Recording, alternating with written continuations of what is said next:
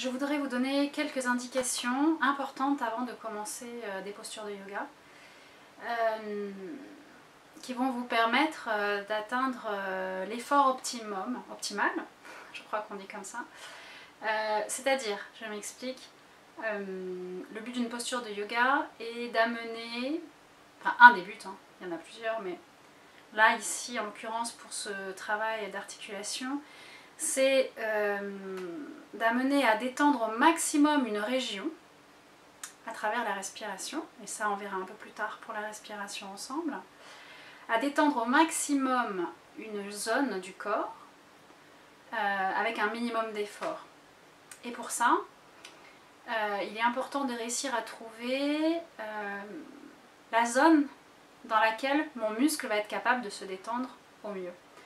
C'est-à-dire si je vais au-delà des capacités de ce que mon articulation, de ce que mon muscle me permet au moment où je fais ma posture, euh, si par exemple euh, au lieu, disons que ça c'est ma posture confortable, si je me force en faisant comme ça, au niveau de la main, ça va créer des contractions musculaires qui vont amener euh, ben, plus de contractions en fait, hein, tout simplement. Et moi ce que je voudrais, c'est pouvoir réussir à rester plusieurs minutes dans une posture, une position qui va peut-être être un peu moins performante, bien qu'il n'y a aucune notion de performance ici, il s'agit de ressenti. Euh, et c'est pas parce que je vais plus loin comme ça que je vais avoir de meilleurs résultats et que ça sera encore plus détendu que si j'avais fait comme ça pendant plusieurs minutes. Donc on va rester plusieurs minutes dans une posture qui nous semble tenable, confortable, sans pour autant arriver dans une zone où c'est mou, hein. il faut qu'il y ait une certaine tonicité musculaire, mais pas de douleur. S'il y a de la douleur, c'est que vous êtes allé trop loin par rapport à vos capacités du moment, par rapport à, ce que vous pouvez faire. Et l'objectif, c'est pas de faire loin, l'objectif, c'est de faire confortable pour atteindre une zone où ensuite, à travers l'inspiration et surtout l'expiration, je vais pouvoir me concentrer sur les différentes zones musculaires qui sont sollicitées par cette posture. En général, il est recommandé de fermer les yeux pour être plus concentré sur ce qu'on ressent.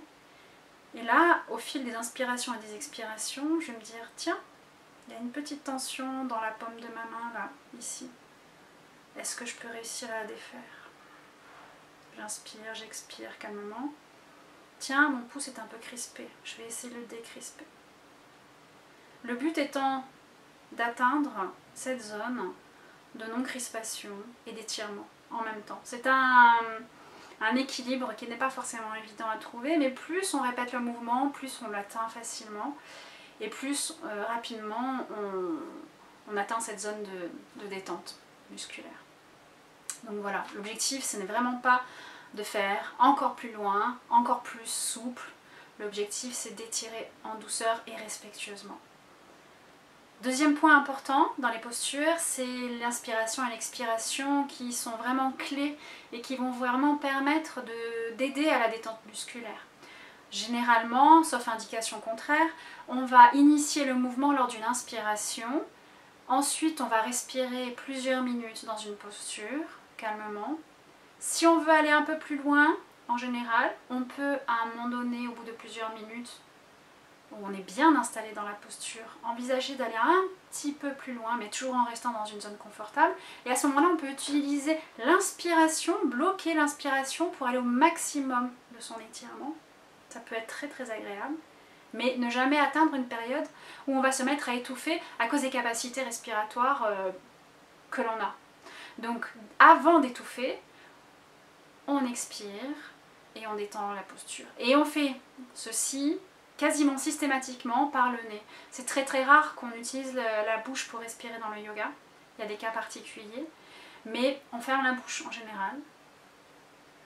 On inspire, on commence, on initie le mouvement par le nez. On reste dans la posture plusieurs minutes.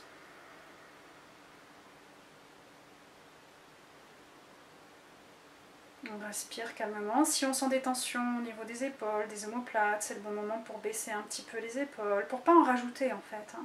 Le but c'est de provoquer un étirement doux et agréable. Et quand on est dans cet endroit où on est bien, on peut aller plus loin en inspirant, en bloquant et en étirant au maximum sans se faire mal.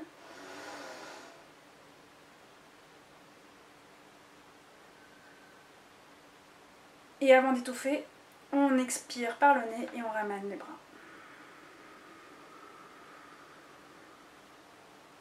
Et ensuite, on touche plus à rien et on inspire une nouvelle fois. Et on expire. En fait, ce qui s'est passé, c'est qu'avec notre respiration, on a concentré toute euh, l'action du mouvement. On peut, utiliser le mot énergie si on veut, mais on n'est pas obligé. Hein. Euh, on a concentré toute notre attention sur une zone bien précise du corps. On y a amené l'intégralité de notre inspiration, de notre mouvement. Et en le défaisant, et en respirant calmement, on va amener une détente musculaire dans cette zone qu'on a sollicitée respectueusement. Voilà, ce sont les bases pour avoir euh, un yoga efficace, doux et adapté, quel que soit l'âge, quelle que soit la souplesse, quel que soit le niveau de pratique qu'on débute ou qu'on pratique depuis des années. On va voir ensemble maintenant plusieurs postures pour différentes régions du corps qui sont spécifiquement euh, choisies euh, pour les tricoteuses.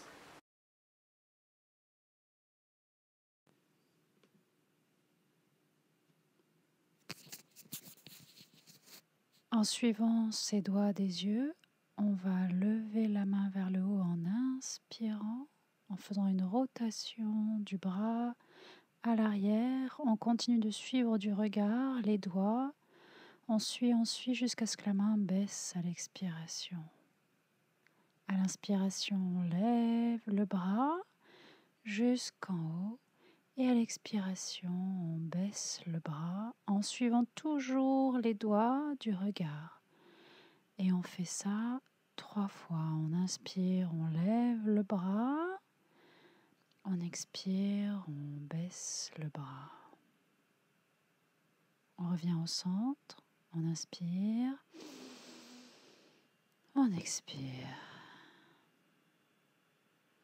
On va faire la même chose de l'autre côté avec l'autre bras. Toujours le même mouvement. Donc à l'inspiration, on lève le bras en suivant les doigts du regard et on baisse le bras à l'expiration. On fait ça trois fois et on fait ça à son rythme comme toujours.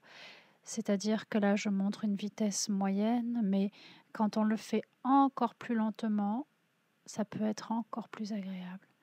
Une dernière fois, on lève le bras, on inspire, toujours à son rythme. Ici, j'indique une durée moyenne.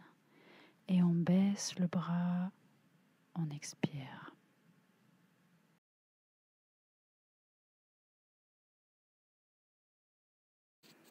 On joint les mains devant la poitrine. Et à la prochaine inspiration, on croise les doigts et on lève les mains vers le plafond, comme si on voulait toucher le haut du plafond en un seul mouvement et en une seule inspiration. Et ensuite, une fois qu'on est bien installé confortablement, on respire tranquillement. On fait attention à ne pas générer trop de tension dans les épaules et on reste dans cette position en respirant. À la prochaine inspiration, on gonfle les poumons, on va au maximum de l'étirement. On retient son souffle, on s'étire, on s'étire et on relâche. On expire, on baisse les bras et les talons touchent le sol. On inspire et on expire.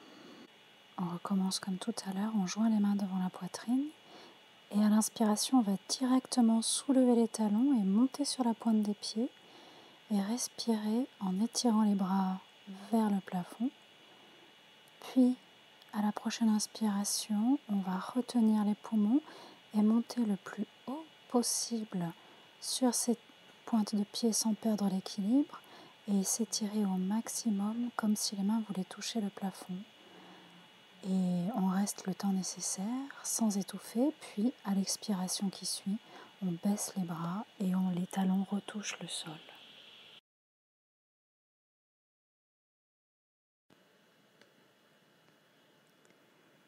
Comme tout à l'heure, on joint les mains devant la poitrine et on va monter sur la prochaine inspiration sur la pointe des pieds tout en étirant les mains vers le haut. Et à la fin de l'inspiration, on penche légèrement sur le côté droit. C'est la main gauche qui voudrait toucher le plafond sans casser la taille. On se penche très légèrement. Et à la prochaine inspiration, on peut bloquer la respiration, gonfler les poumons et aller au maximum de l'étirement. Et une fois qu'on est arrivé au maximum, on revient au milieu et à la prochaine expiration, on baisse les bras et les pieds en même temps qui touchent le sol. On inspire et on expire. On recommence de l'autre côté, on joint les mains devant la poitrine à l'inspiration, on lève les talons, on lève les bras. Et au maximum de l'inspiration, on se penche légèrement de l'autre côté. La main voudrait toucher le plafond, la taille ne se casse pas. Et on reste et on inspire et on expire pour étirer tout le flanc droit.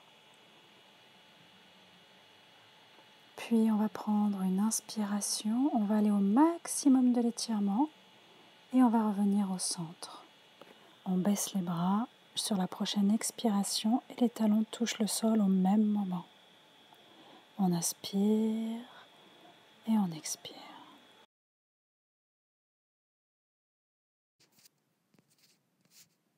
Nous allons joindre les mains dans le dos, comme ceci. On joint, on croise les doigts et ensuite on tend les bras. Et si on peut, pouces, les pouces vers l'extérieur. Les pouces se retournent, les mains, la paume des mains est vers le sol et les pouces sont vers l'arrière.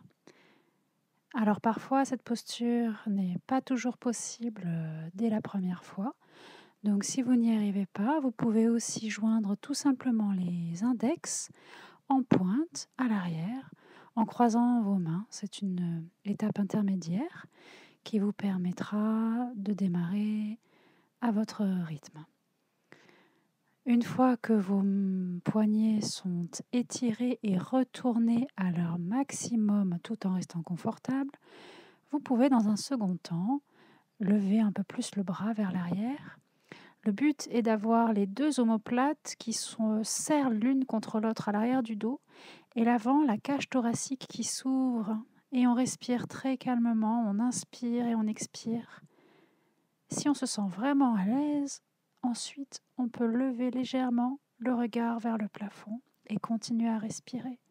C'est une posture qui ouvre la poitrine et qui va serrer les omoplates à l'arrière. Et ensuite, à la dernière inspiration, retenez les poumons pleins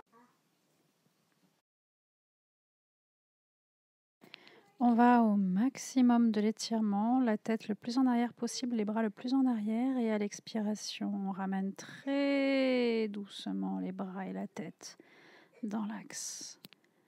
On prend une grande inspiration et une expiration.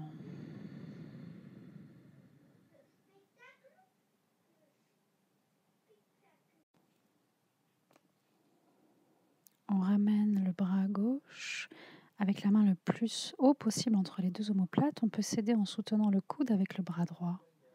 Une fois qu'on est au le plus haut possible, on lève le bras droit et on essaye de joindre les deux mains ensemble à l'arrière.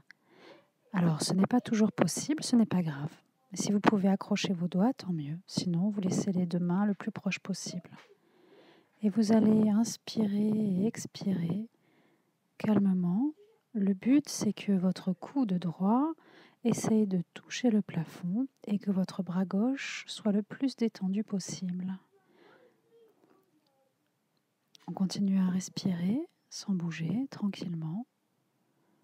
On inspire et on expire. On inspire et on expire. Jusqu'à atteindre une zone où on a le moins de tension possible en faisant des ajustements si nécessaire. Puis, on va légèrement étirer l'omoplate en baissant et en levant le coude plusieurs fois. On baisse le coude et on lève le coude et au bout de trois fois, on défait.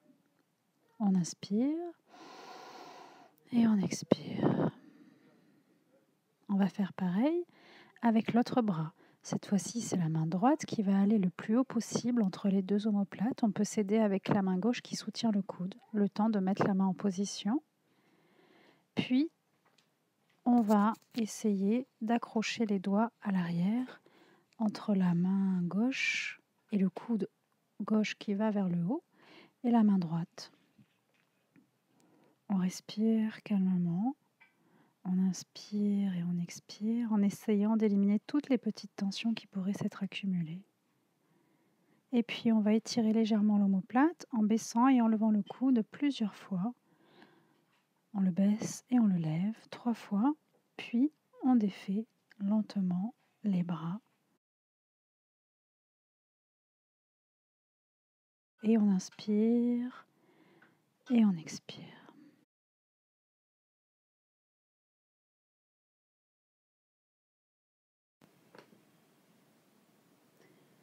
Tendons les bras et baissons les mains vers le bas. Les bras sont parallèles au sol. On lève les mains en flex le plus haut possible et on les baisse le plus bas possible. Flex en haut, flex en bas. Flex en haut au maximum, flex en bas maximum. On n'oublie pas de respirer pendant tous ces exercices. On inspire et on expire sans bloquer les respirations.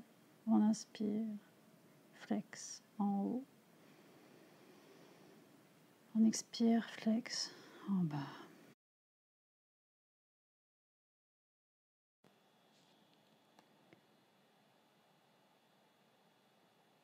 En utilisant le plat de la main comme support, on va appuyer chacun de nos doigts de l'autre main le plus fort possible pour essayer d'obtenir l'angle le plus intense possible pour chacun des doigts. On presse, on inspire et on expire. On presse, on inspire et on expire. On fait ça pour chaque doigt de la première main. Et ensuite, on change de main. On peut évidemment, c'est même recommandé, rester plus longtemps, respirer plusieurs fois pour chaque doigt. On peut rester un petit peu plus longtemps, le temps de faire quelques inspirations et quelques expirations, puis changer de doigt et faire ça pour tous les doigts de l'autre main.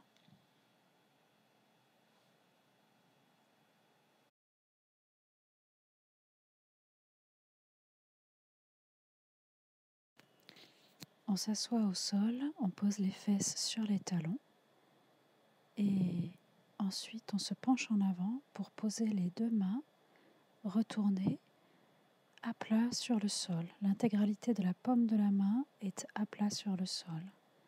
Et puis tout doucement, on va se pencher en arrière pour essayer de se rasseoir sur les talons L'avant de la paume de la main peut potentiellement à ce moment-là se soulever un petit peu, ce n'est pas grave.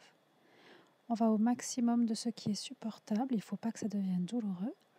Si en s'asseyant complètement sur les talons, c'est trop douloureux, on se repenche un petit peu en avant pour rester dans cette zone où on sent un étirement de tous les avant-bras sans que ce soit trop douloureux.